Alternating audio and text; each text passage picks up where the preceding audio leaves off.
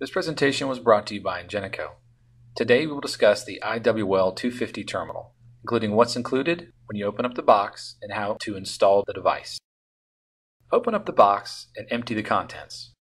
Inside the box you'll find the following items. A paper roll, a power supply, a phone cable, a docking station, lithium-ion battery, and the terminal itself. You'll also find a user's guide. The docking station serves two purposes. One, to charge the device.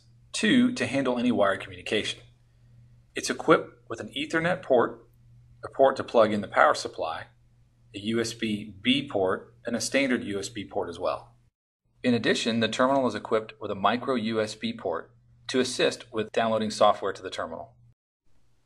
It can be used to charge the unit when the docking station is not present. You will receive this cable if you order a unit without the docking station. For dial-up modem cable routing, open up the bottom of the terminal and find the port adjacent to the phone icon with text labeled IN.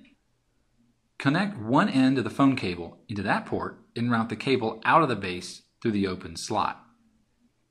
To finish, replace the bottom cover of the base.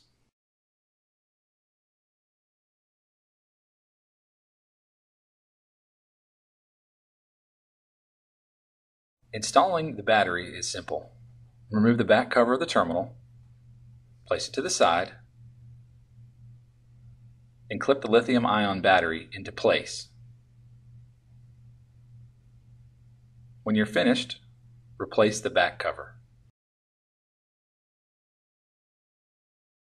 IWL units equipped with a long-range GPRS module will include a SIM card slot. To install the SIM card, remove the back panel from the terminal. Just below the battery, there's a small icon that says SIM, meaning SIM card. Slide the SIM card into the SIM slot with the open end positioned toward the bottom left side. When you're finished, replace the back cover. To install the paper, open up the clamshell printer and drop the paper roll inside. Close the lid and you're done.